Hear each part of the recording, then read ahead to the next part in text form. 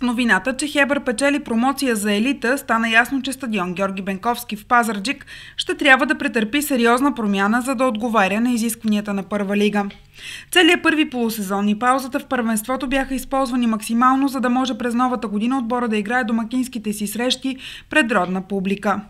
В срок ли ще приключи ремонта, провери кмета Тодор Попов. Малко се забавихме, но по обективни причини, тъй като стълбовете, които трябваше да изработим, които са нас 30 метра височина, ги бяхме поръчали в Гърция, тъй като в България нямаше къде да бъдат направени. Слава Богу, вече те са тук, всичко е тук. Успяхме да си направим през това време цялото захранване, окабеляване, което е много сложно. Действаме си по седалките, останаха тази седмица да наредим само и другия сектор. Поставихме си вече и кулите за вар. и остана само да дигнем стълбовете, като до края на седмицата изливаме подложния бетон с фундаментите и с еркерите и другата седмица лека по лека, един по един почваме да изправяме стълбовете, като силно се надявам до края на месеца вече да сме готови.